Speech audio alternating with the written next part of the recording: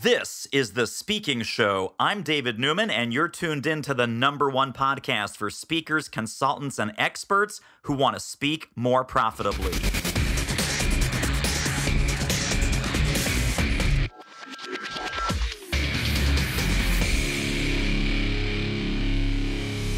Mary Kelly, CSP, welcome back. Thanks for having me, David. I'm so happy to be here.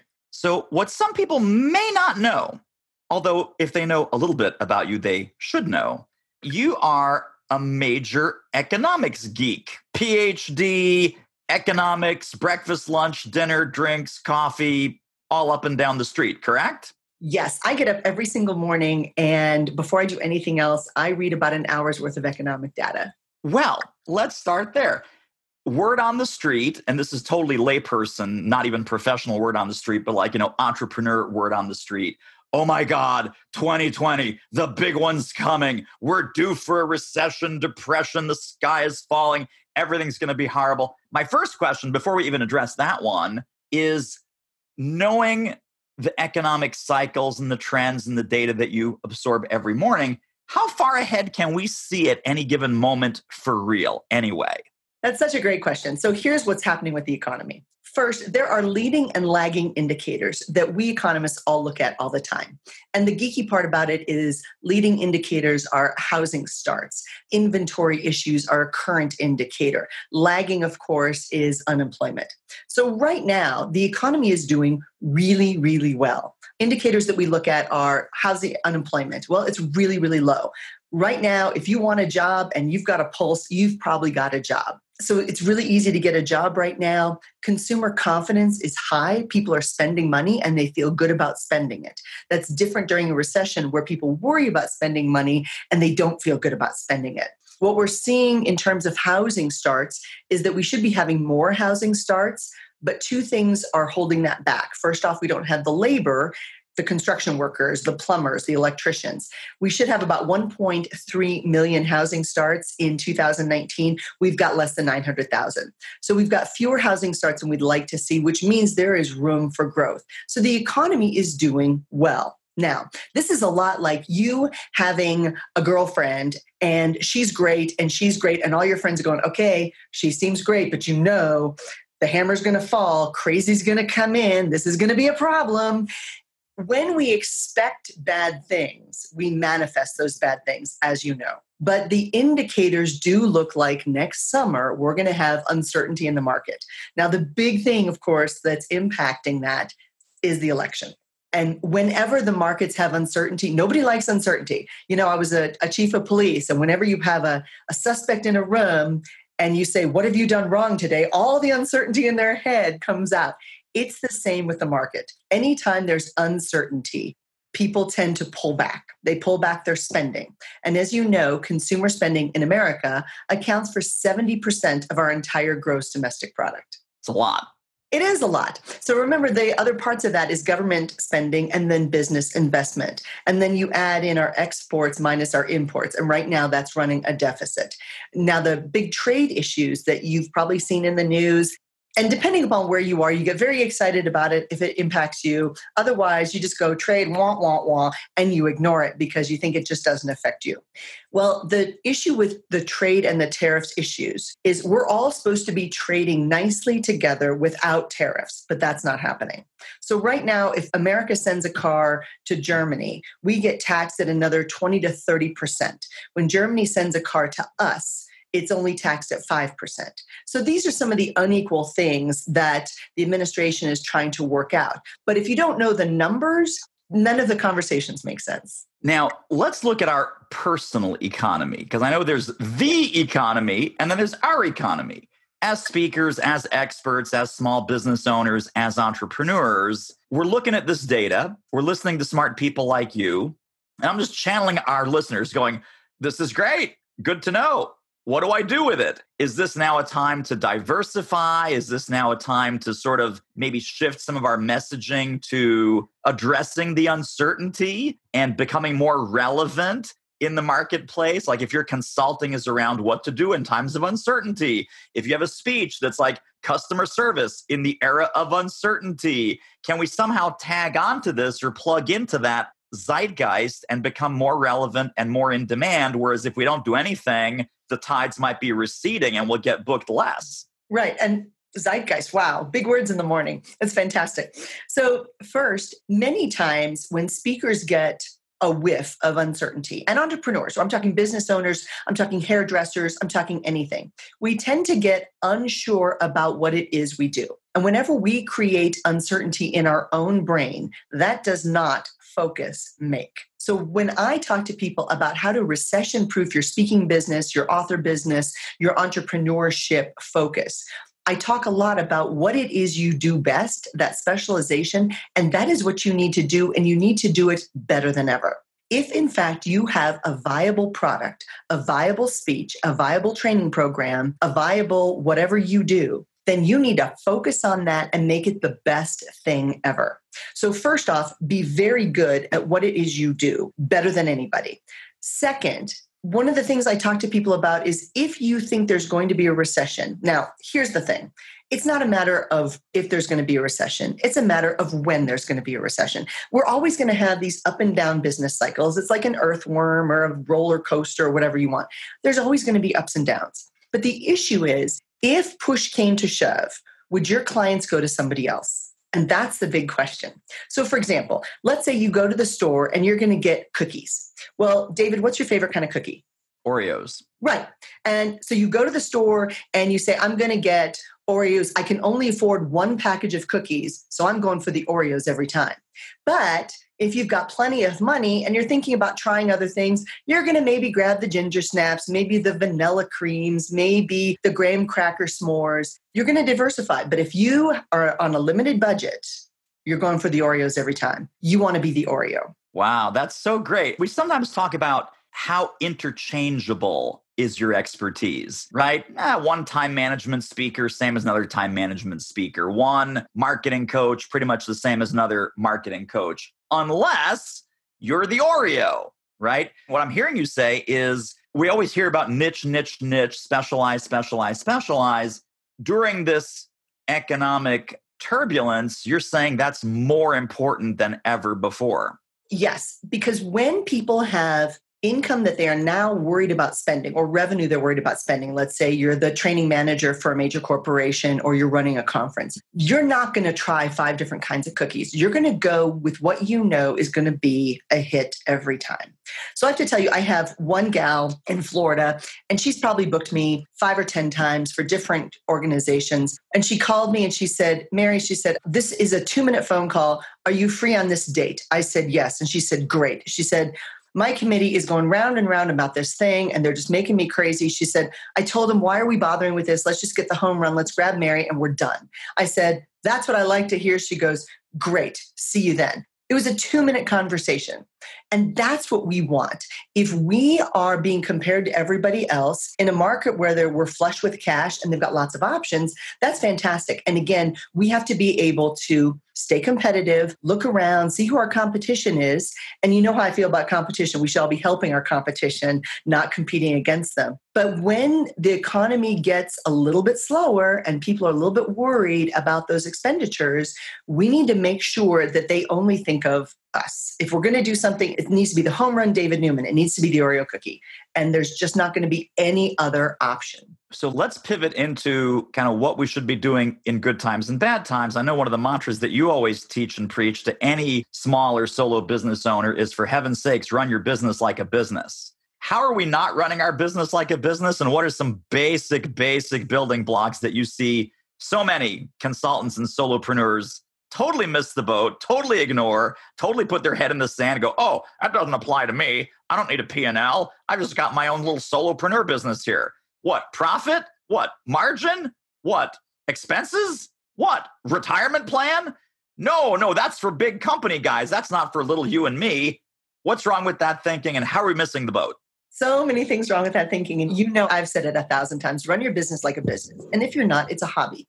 And if it's a hobby and it makes you happy, that's fantastic. But then please don't come crying to me by saying, oh gosh, you know, my business isn't doing this or I'm not doing this. Well, wait a second. Many of the people you and I both know are not running their business like a business. They do it when they want to, they don't schedule their days, they are not taking things seriously, they're not spending money in the right places. So let's just look at that for a minute first. When times are good, and times are really good right now, people tend to get a little bit lazy. And I'm going to say it lazy. So I talk to some of our friends and I say, What did you do today? And they say, Well, I got up and I did this. I wanted, and I said, No, that's not a work day. A work day is get up in the morning, go to your office, and do the things that you know are going to make you money. And that's the first thing you should do every single day is have a schedule. Second thing, focus on the things that make you money. Don't do the things that make you feel good, like check Facebook to see how many friends you have today or go on LinkedIn to see who shared your message. No, start off with doing the things that are going to make you money first. Do the important first. So that's number two. By the way, we have a nickname for that. It's MMA, money making activity. It's not mixed martial arts, it's money making activity. Money making activity. And the money making activity needs to be first and foremost. But you also need to have those daily habits. It's an eight to 10 to 12 hour workday. And if you're not doing it, then guess what? You're running a hobby, not a business. So have the structures in place to make sure that you always know what the next step is in order to make money. That's number three. And number four, and this is one of the things I'm seeing a lot with our entrepreneurs is they're getting a little bit complacent and arrogant. They're getting arrogant because they're like, I should raise my fees because everybody wants me. Mm-hmm. That's today. Is that going to be the case in one year or two years? And if you raise your fees, are you going to lose some of those lower hanging fruit people who can't afford that? And there are some people who can. And if you raise your fees, are you delivering the same value that other people with those fees are doing? Because my friend David Newman says, guess what? If you're a $15,000 speaker, you're not competing against other $15,000 speakers. You're competing against the $15,000 speaker who's willing to do that speech for $10,000. Right. That's your competition. So we have to make really sure that our arrogance and our sense of self importance does not get in the way of our business plan. Hey, good looking. Are you currently getting paid to speak? Would you like to ramp that up? We can help. Book a confidential speaker strategy call with our team at doitmarketing.com slash call, and let's see what we might do together. The call is free, but the results may be priceless.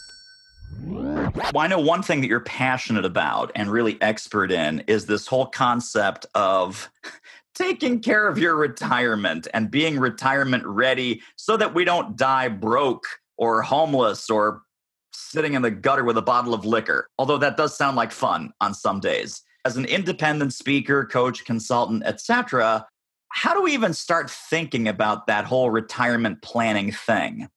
So here's some scary statistics. So I ask a lot of folks, so how much money do you need to retire? And a million dollars is a commonly used term. It's a nice round number.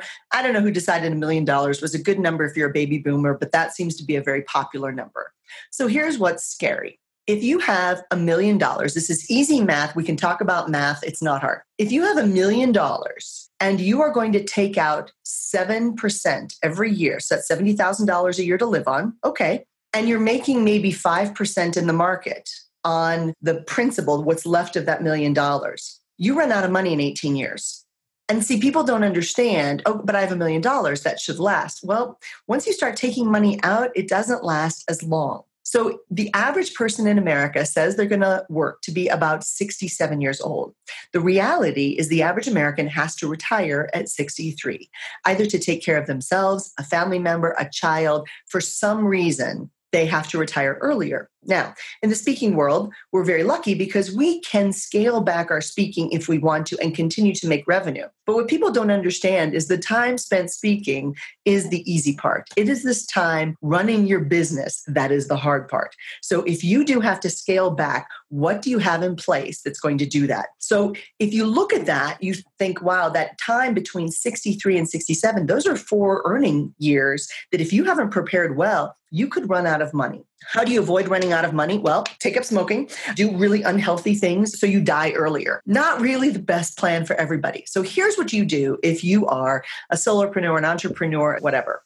First, let's say you are getting income and you are making five bananas for that day five bananas. You do not get to spend five bananas. And many people talk about things in terms of relative to one speech of five bananas. No, you don't get to keep five bananas. For five bananas, five bananas, two bananas go to taxes. You have to allocate that to taxes. One banana goes back into paying your people, running your business, doing your marketing, hiring David Newman, whatever it takes to run your business. And then one banana goes to to you maybe as payment. That is part of what funnels your income. And then that fifth banana, that is your retirement. And I say this all the time. It's a very simple solution, but people don't do it. So, that retirement, how do you set this up? Easy peasy.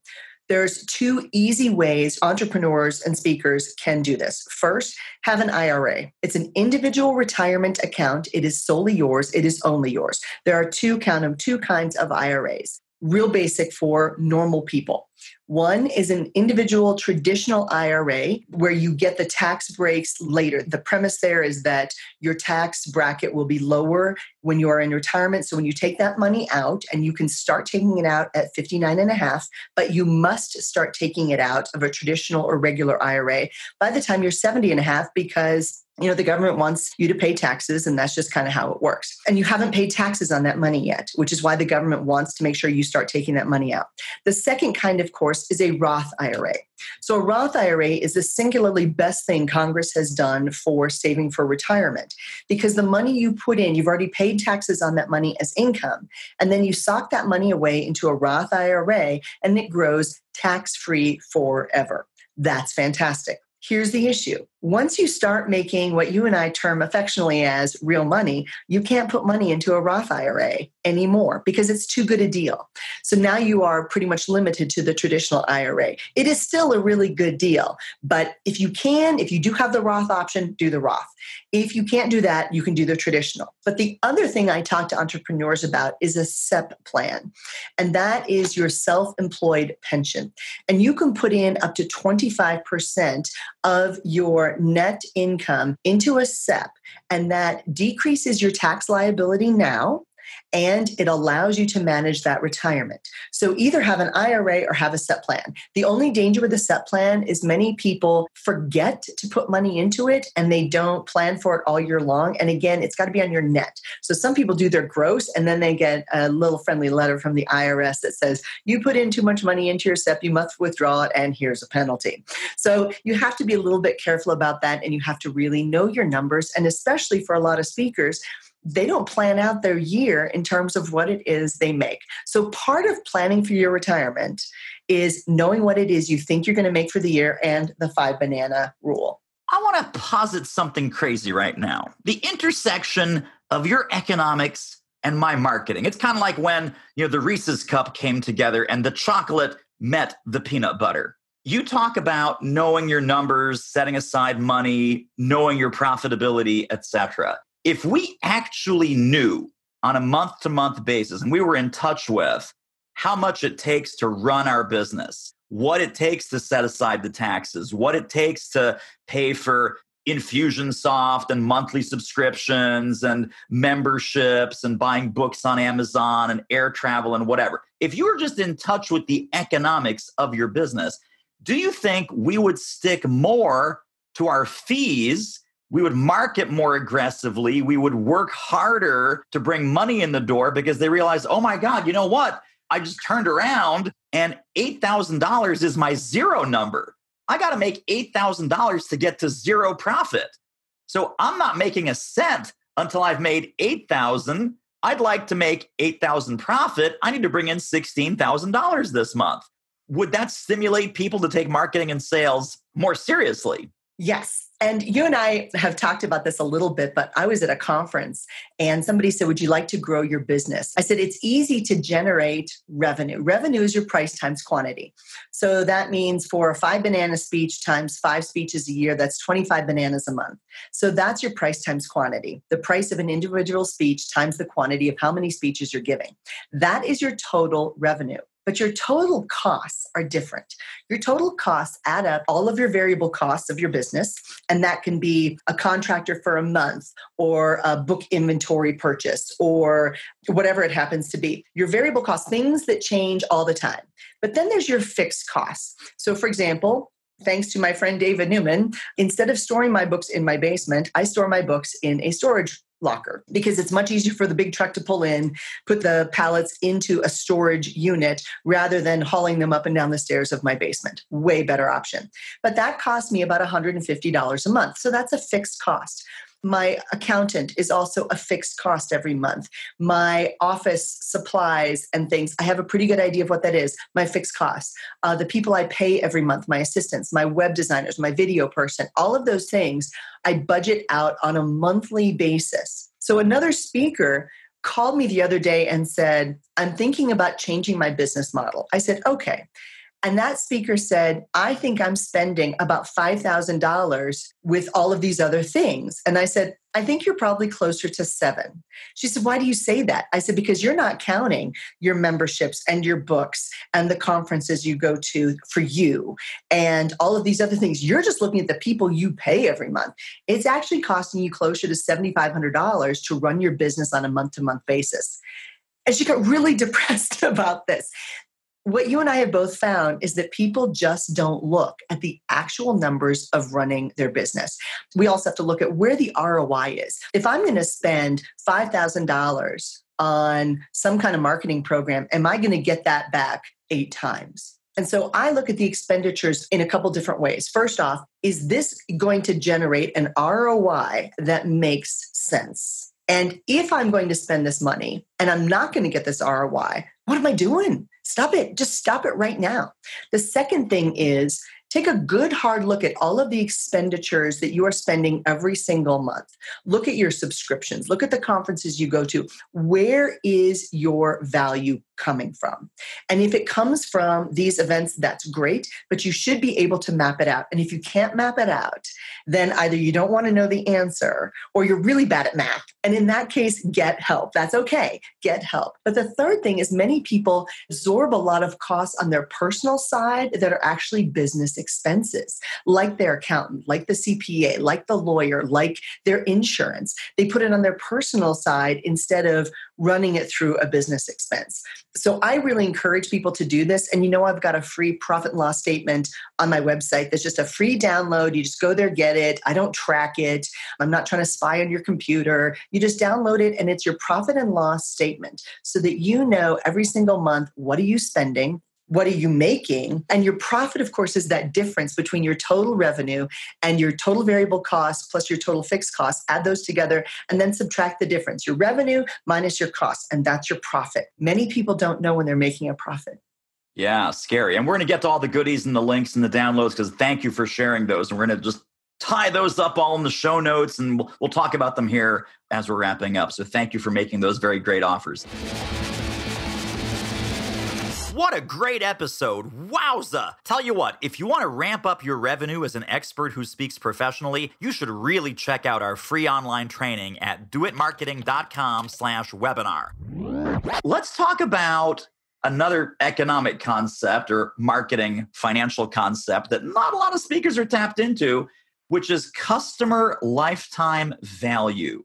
You know, I get hired by the International Glove Association they paid me whatever the number was. I'm back on the hamster wheel trying to find the next gig. And I might never go back to them. I might never ask for a referral. I might never ask for a pre conference workshop. I might never ask to do a webinar with them again. I'm going to let them sit. Customer lifetime value, I think, too often is one gig value. It shouldn't be that way, right? If they love you and if you love them, there should be many, many opportunities for upselling, cross selling, helping their members more. The big sales gurus call this strategic account management. I think speakers are terrible at strategic account management and they're just thinking, well, let me get the gig and then I'll go home. How would you look at customer lifetime value and expanding it and extending it? Again, that's such a great question. You know, you've got a new book coming out called Do It Speaker. And when you came out with that book, we were all looking for, say, testimonials that will help us sell us our book, whatever. When you start to think about who would write you the best testimonial, those are your customer lifetime value people because you know you can send it to them and say, Hey, could you give us a great referral? Our last book, Gary Ridge, the CEO of WD 40, gave us a great testimonial. So that happens again because you are a customer lifetime value relationship person for them. You consistently provide value. When they call me up and they say, Hey, we've got a great customer service conference next year, who do you know? And I say, you know what, let me recommend these five people, and here's why.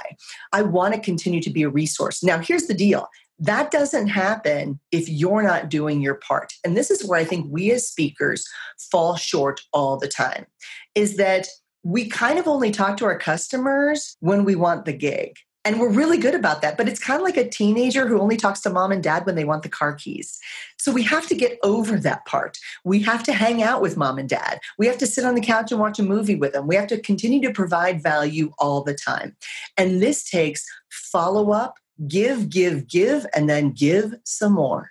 And this is where you're great, by the way, because you constantly provide value. Many speakers are very much in a scarcity mentality and they think, well, if I give them the farm, then they're not going to want to buy the farm. Well, wait a second. They kind of do. They want to have this relationship with you. And we fail to see that if we continue to give, give, give, support, support, support, that it benefits us in the long run, but it also benefits them. And that's really what we should be focusing on, number one. And number two, this is very much a relationship based business. So, my big question is always so, what are you doing to keep your side of the relationship good? What are you doing to help? What are you doing to support them? They gave you a check five years ago. What have you done since then? Have you reached out just, just to say, hey, how you doing? How are things going? Now, when that happens, a lot of times they're like, uh, now they're asking for the car keys again. And we've made them skittish because they think there's going to be a sell. So, my big question is what are you doing to follow up with all of your customers in a way that's not salesy? Because if you're good enough and that relationship is strong enough, the sale will come. Yes, absolutely right. I totally love that. I love the analogy of mom and dad and the car keys because if that's the only time that we're in touch, that's a transaction. That's not a relationship. That's the right. relationship is a random call What's up? What's cooking? What are you working on? How can I help? Here's an article. Here's a video. Here's something cool. I tell my clients that the best role you can play in a prospect's or a client's life is a pointer outer of cool things. You be the source. Say, hey, you know what, Barbara?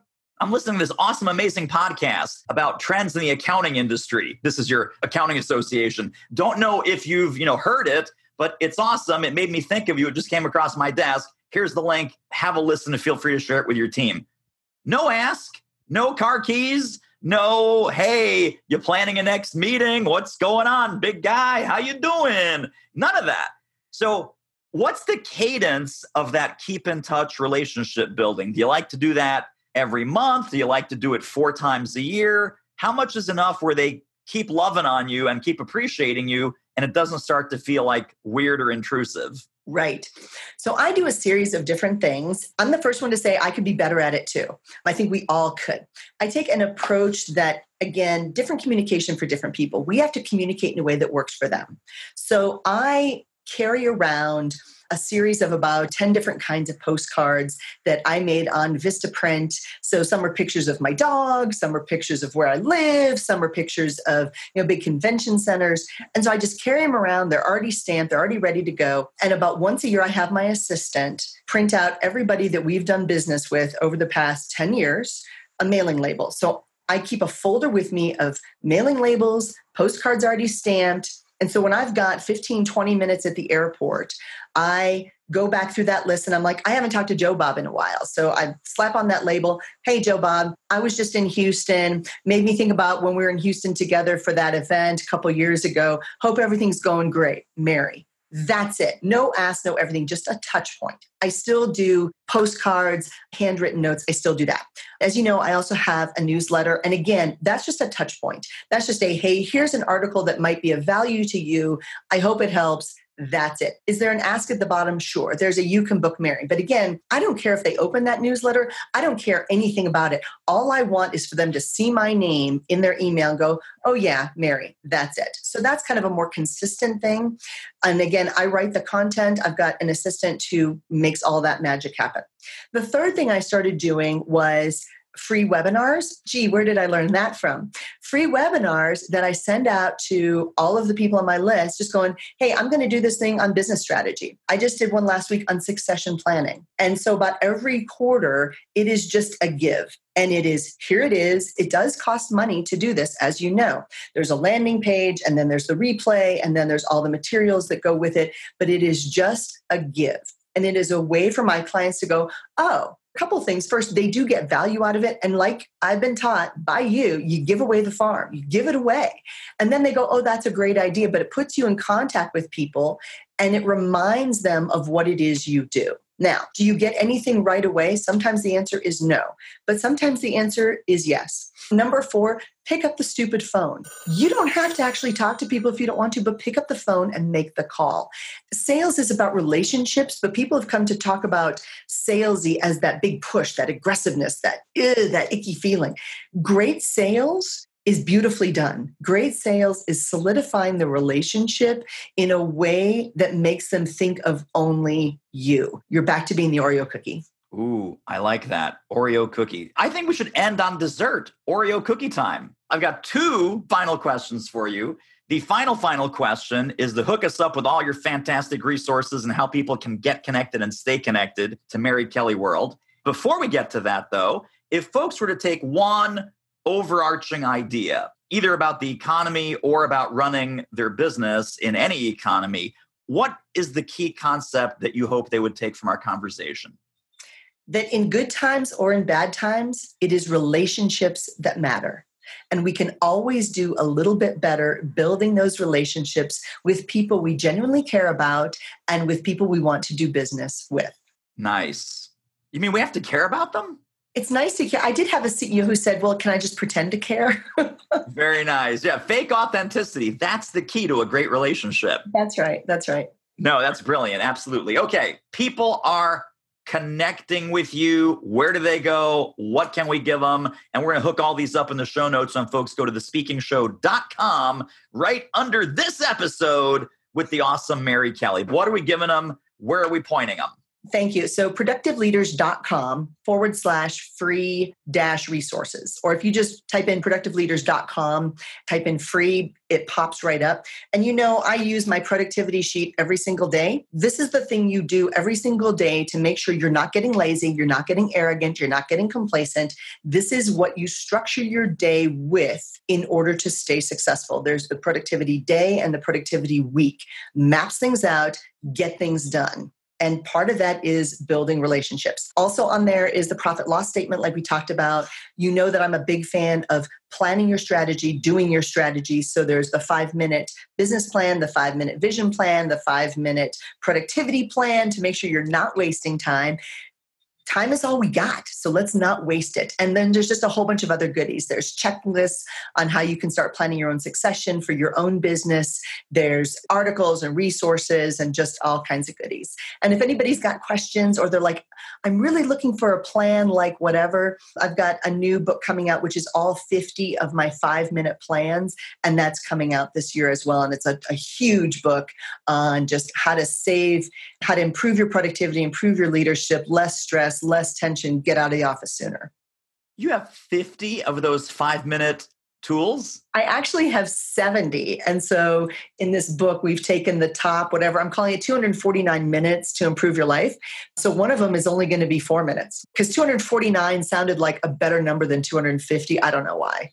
I so, agree. I yep. agree. And when's that coming out? That should actually be out in September. So that's exciting. Very nice. September 2019, people get the book.